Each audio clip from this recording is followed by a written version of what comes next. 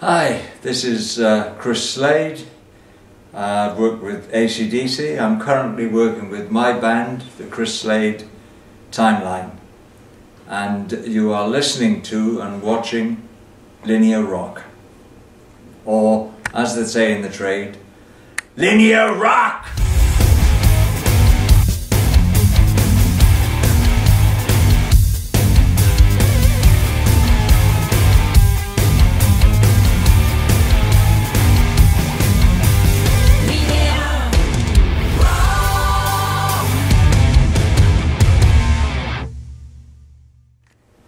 Hi, Chris.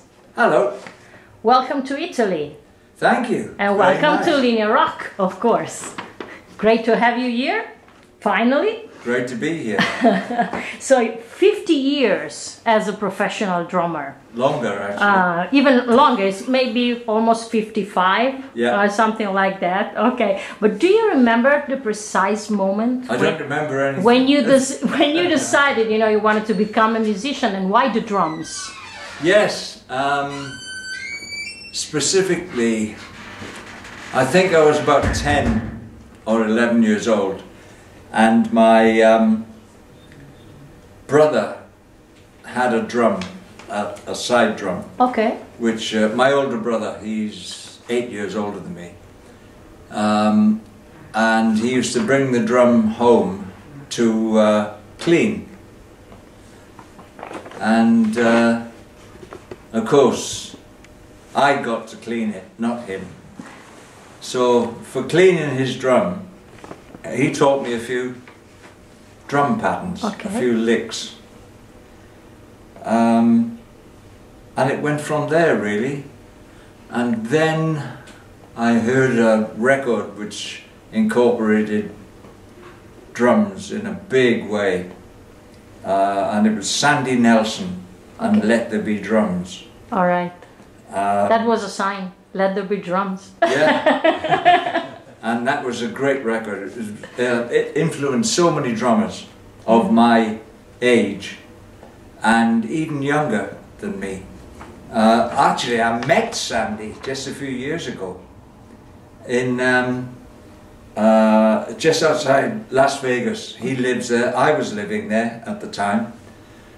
Um, and can you remember the Older city. Boulder City?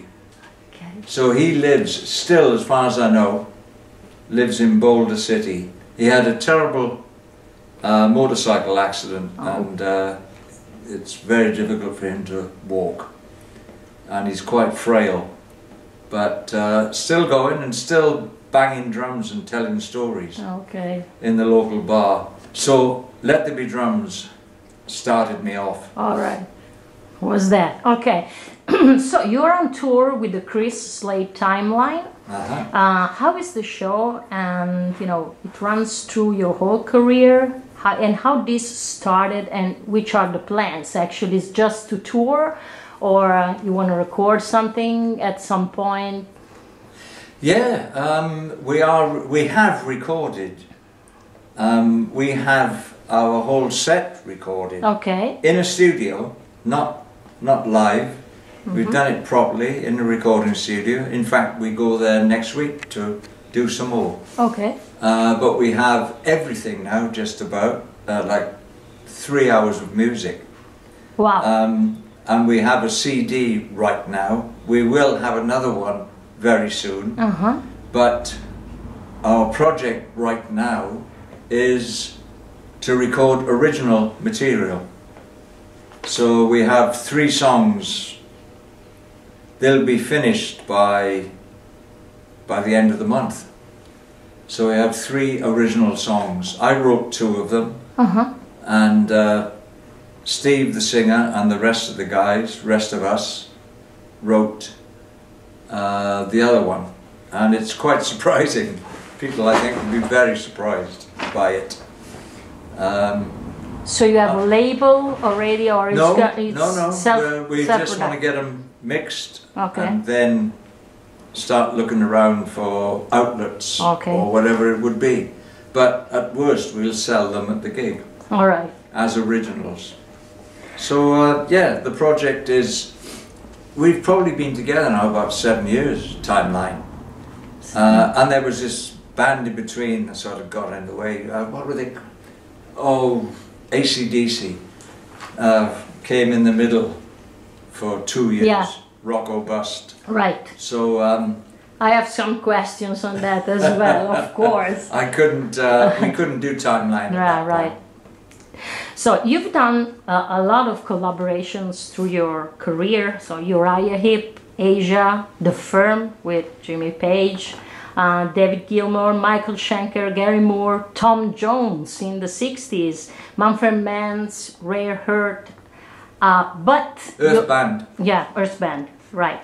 But um, you are mainly known, of course, by the big audience as the ball drummer of ACDC. And Yeah.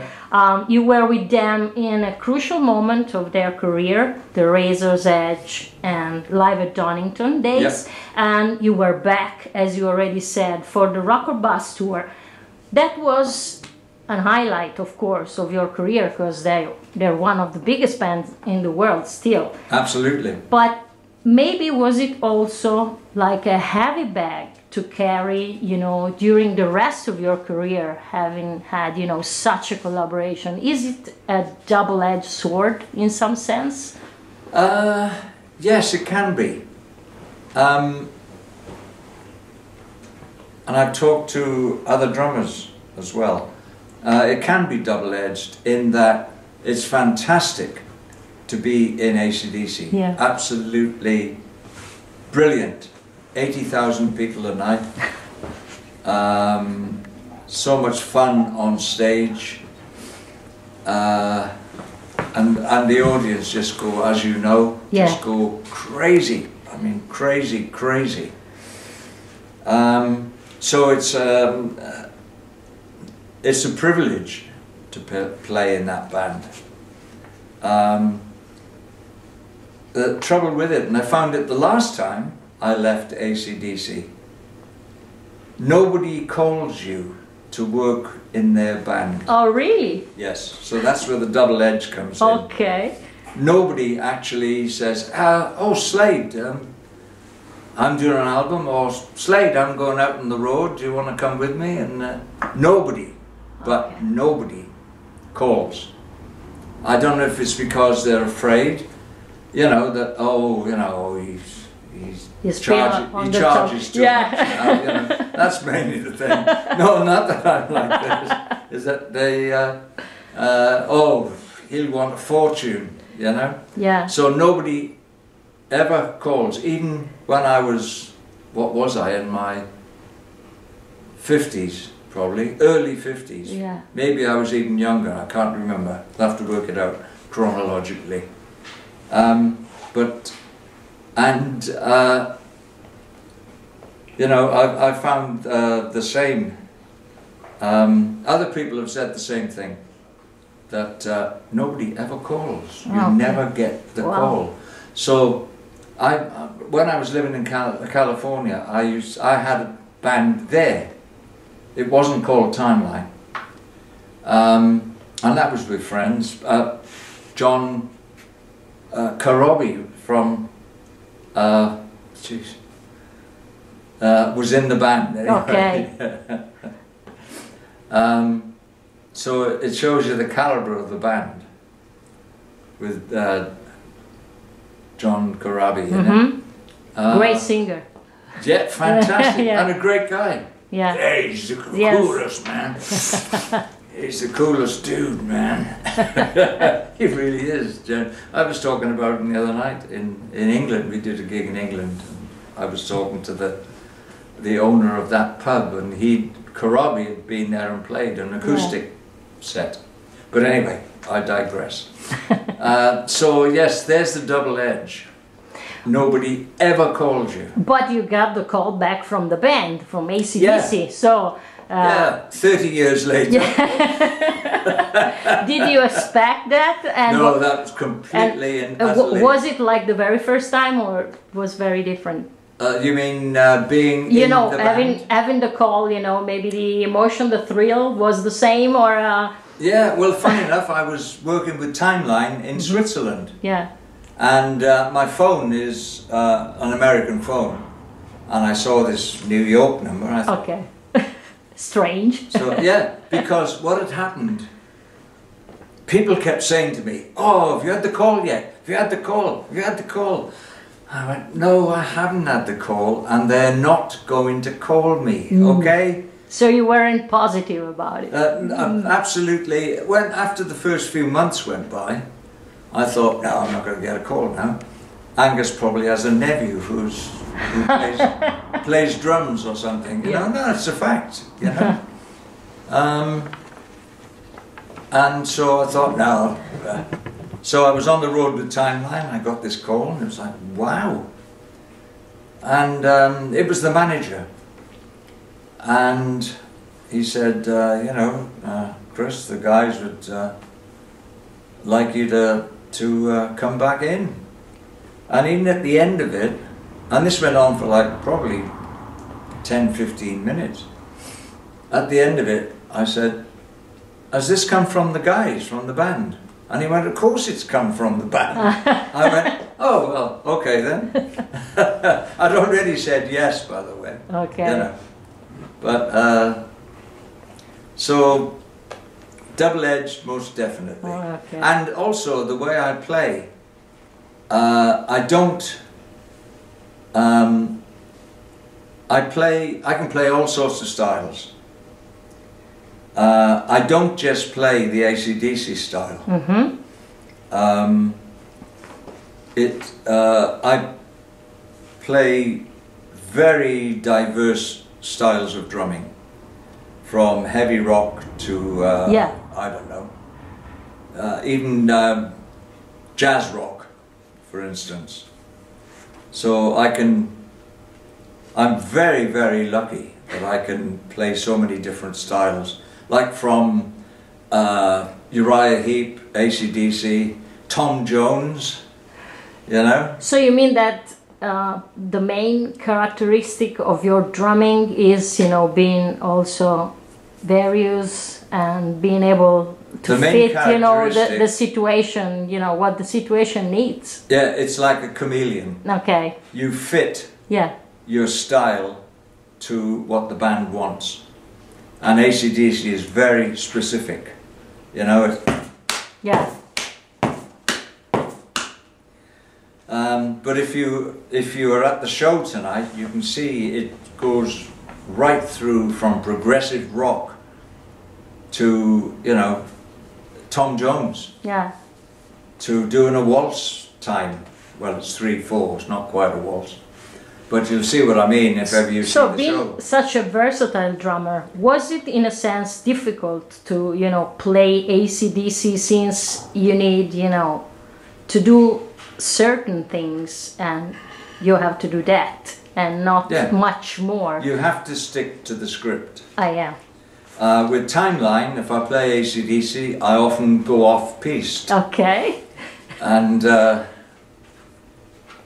just do whatever I feel like doing, which you cannot and must not do in ACDC. Yeah. For one, the band don't want it and the crowd don't want it. so it'll be crazy, you know, for me to even consider. And that might be another thing with the double edge. People go, oh, he just does ACDC. You know? Yeah. He can't play my stuff, Right. you know. But there's, tonight we're doing a, uh, a song from Asia. I was in Asia Yeah. for like seven years off and on Yeah. and we do a uh, an eight minute, maybe even longer song called Free, Yeah. and that is so prog rock. It's out there, time signatures and all over the place sometimes. no, all over the place musically. I mean, in a nice way. Um, And about So- about ACDC, do you feel closer to Phil's drumming or Simon's drumming? Which is the one that maybe in the spirit and also in the style you feel much more closer to? um, I don't think about it. I. Okay. I do what I'm told. But I'd do that if I was working with Frank Zappa. I would do what Frank said. You know? So Uh, also when you recorded the Razor's Edge, you had complete freedom. I mean, staying in the standard to do whatever drum pattern no, no, you wanted, or no, it doesn't work like that. Okay. Angus and Malcolm do the demos first. Uh huh. You copy the demos. Okay. Whether you're Phil Rudd or Simon or me, you do the drumming that either Malcolm or Angus did, Okay. and you follow it like that. So you mean with the drum machine they do the demos, or? Uh, No, they play. uh, oh really? Yes, yes. I didn't know about that. Yeah. That's weird. They Okay. both played, Okay. play, played drums. with Malcolm, you know. Okay. Uh, yeah, live drums. Yes. So, and you have to follow. Okay. Yeah, About Thunderstruck. they write the song around the drum patterns. Also, Thunderstruck was done like that because that, you know, Yes. it's a very distinctive song and it's one of the main hits ACDC ever had. So, did, did you actually realize that that was such a stra- uh, strong song when while you Uh, recorded it? They were, I mean, I've got to say, all ACDC songs are strong. There's no doubt about that. We all know that. It's a fact of life. Um, no, I, did I think it was going to be as big? I'm, I don't think Ang- Angus and Malcolm thought it was going to be as big Yeah. as it was. Um, so, no, I had no idea. Um, you know, you think, oh, this is, you know, this is good. Sometimes with songs. Yeah. One I really liked on that Razor's Edge album was um, uh, Rock Your Heart Out. Yeah. Um, I really enjoyed playing that. But that drum pattern is either Angus or Malcolm. It's not, I didn't invent that. Mm-hmm. Uh, and it was so difficult to learn because I had to learn it in 10 minutes at Oh, the wow. audition. Oh, wow. At the audition, because it's all syncopated, all offbeat bass drum. Da da da. Yeah. Da da da da da da da. yeah. And I had to learn that perfectly in about 10 minutes, Wow. maybe 12. So, um, difficult. Yeah. That was extremely difficult. Wow. In fact, when I did the audition, I thought I did so badly. So Dick Jones, the drum tech, helped me to pack the drums up and I put them in the back of my car because I, I lived only an hour away from the rehearsal place. Okay. So, And people were coming from all over the world all right. all over the world in big bands. Uh, You can't imagine. You think of a top drummer, Yeah. It, they was the. auditioned. Oh, yeah. Uh, I was number 100. Wow. Yes, of top top players. Uh, hey guys, uh, don't don't tell my band, okay? But I'd really like to try out with you. All right. Fact, I promise you, absolute fact. But you uh, got the gig, I so- was I was kicking myself, going, why did you say that? Why did you play that like that? Why did you, you know? Oh, you're an idiot. You're just, you know, you're an idiot. You're just stupid. And I I was so doing this so much that I lost my way. I lived an hour away. I'm, Oh my God. Where am I? Because you were overthinking. Yeah. So yeah, yeah. so middle of the countryside, I, you know. So I, I went, I called my wife and said, uh, look, I got lost and uh, I'll be home in half an hour.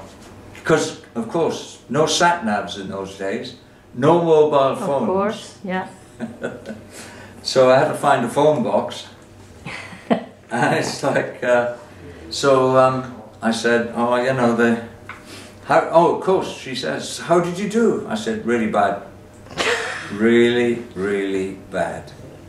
Uh, I'll tell you all about it when I... Well, you must have had the wrong perception since you got the gig. So. So she walked up the path and I said, uh, come on, let's go to the pub because did really bad. She said, oh, they just called to say you've got the gig. That's fantastic. They called before I got home. Yeah. So. Wow. So That's a did, great we, story. We still went to the pub. For You different For a Different different reasons. reason, yeah, okay. So, how is the situation in ACDC right now? I mean, you're still in the band, you're not, because the news, you know, are really confusing and there are no official statements about it. There never So- is. Okay. That's so, the way they are. Okay, so so you you don't even know if you're still in the band or not, or, or you cannot tell. Uh, I've I- had I've had no indication Okay. that I'm not. okay, that's a good. The rumours point. are completely, All right. you know. But ACDC, as you probably know, have always taken five years between anything, Yeah. and then suddenly you get a oh Florida next week, you know, LA, ten days time. Yeah, yeah. Oh, so- okay. Wow. That's the way they've always been that way. And which was your real, you know, body in the band? Your Oh, great, Buddy? yeah. All right. Um, well, Angus doesn't drink Mm-hmm. at all. Hardly ever has. I think when he was 11 when he got drunk, and that was the end of it. Um, so, I think uh, Cliff and Brian, we used to occasionally go out for um, for the odd drink. It wasn't like let's get them down Yeah. our throats. Nothing like that. But um, uh, we probably hang out more than more than most. All right. Yeah. And another story, very interesting story about you. Is it true that you initially said no to Jimmy Page for the firm and that you made him wait for you for a, a while? It wasn't Since you anything- what? Okay. Wasn't so anything what? to do with me. Okay. That's the so the story. story is, I'll cut it as short as I possibly can. Uh, I was living in London, and phone rings, and I'm trying to get it round the right way. So, hello, uh, and who was it? Oh, hello. Uh, hello, uh, this is David Gilmour. Come on, Jim, I know it's you. Stop messing about. No, this is David Gilmour. Um, and I had met him once before. I went, oh, hello, Dave. Ah, surprised to hear from you. We had mutual friends in that um, Mick Ralphs from Bad Company. Yeah. They were neighbours. And I'd worked in the Mick Ralphs band. Just did a few gigs to try to warm up and stuff. So I had met Dave. Uh, but as far as I knew, he was off skiing somewhere. Um, so, surprised to hear from you. Yeah. Well, uh, I'm putting a, a band together, and uh, really like you to uh, be the drummer. And I went, oh, Dave, yeah. Look, you know I'm in the band with Mick Rouse, and it's be a bit awkward. And he goes, oh no, Mick's doing it as well. doing the band, you know. So, so, funny enough, went down the pub to celebrate, basically. oh, the tour's in like a few months. So we'll get together and rehearse. I'll let you know all the details. Oh, great. Great to uh, see you again. So down the pub, celebrate. Come back from the pub. Uh, only a few pints and lunch. And uh, ring ring. Oh, Hello. hello. Um, hello, Chris. It's Jimmy Page. Yeah. Jim, now I know it's you this time. Again. No, no, no, no, no, no. no. It No, it really is Jimmy Page. Huh? Hello, Jim. Mm.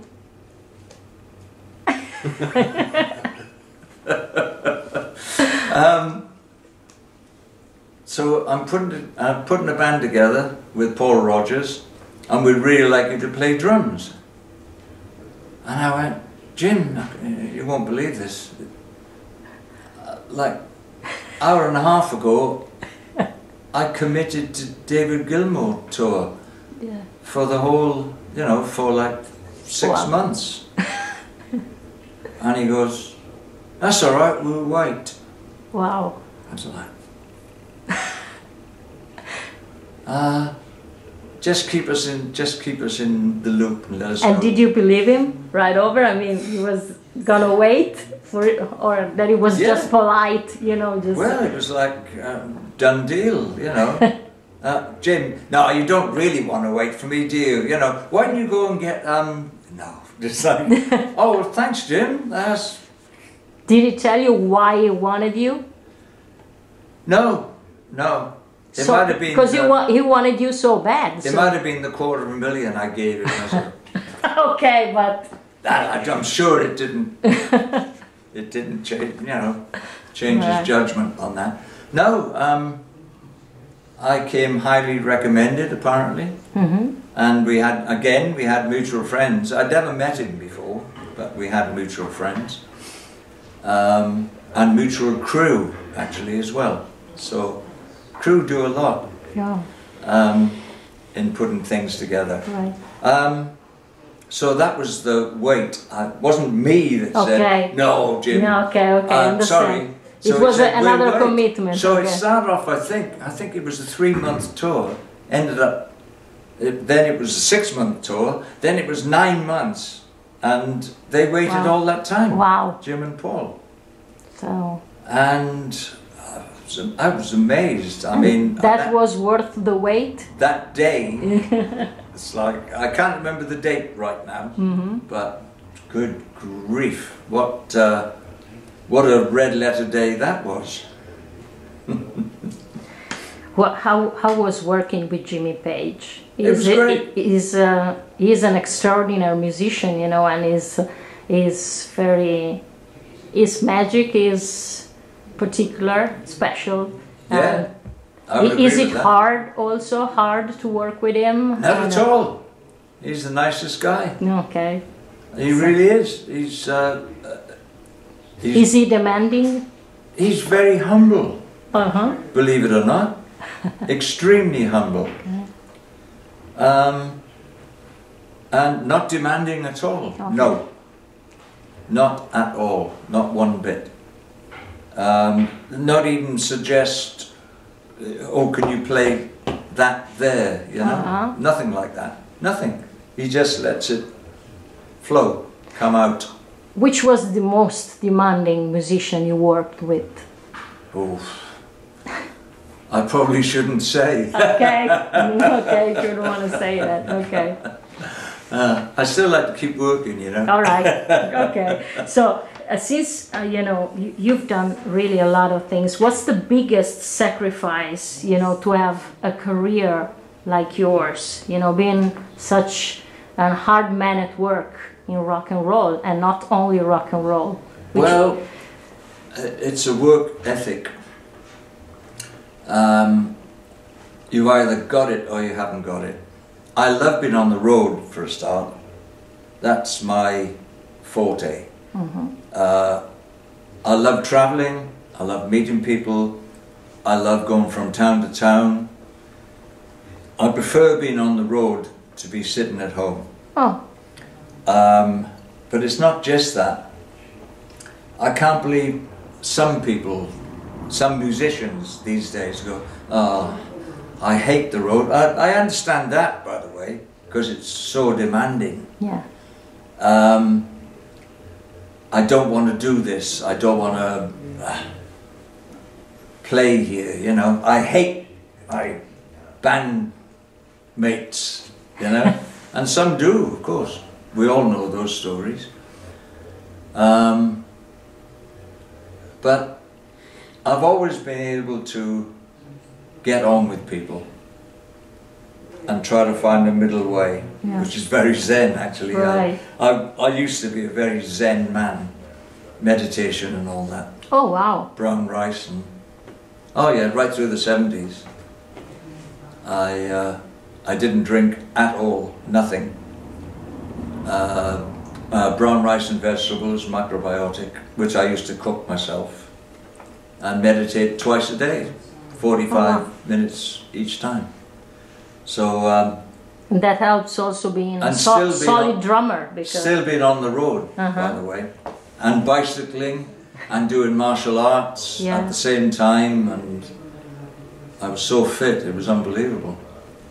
Um, but some people, they don't have a professional attitude, which I find incredible. You either do the gig or you don't do the gig. It's not like there shouldn't be a halfway.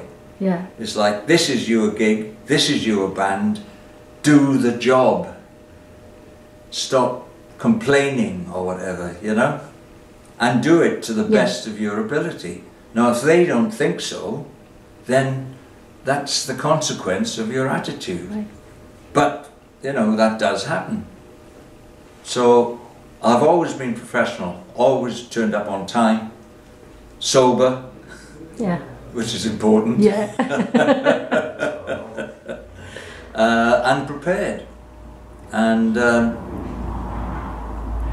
I just, uh, that's the way I approach things, all things. And being back in ACDC, what just felt, you know, just if if like you know, even if if time didn't pass by for you, sitting, you know, on that throne, back again, it was like you know, time didn't pass by, or or uh, and Yeah. the family feeling was still there, or Yeah, no, I had a great time. yeah. Um, And did you remember all the songs? yeah, yes, of course. Oh wow. Well, I'd been playing them. mm-hmm. So yeah.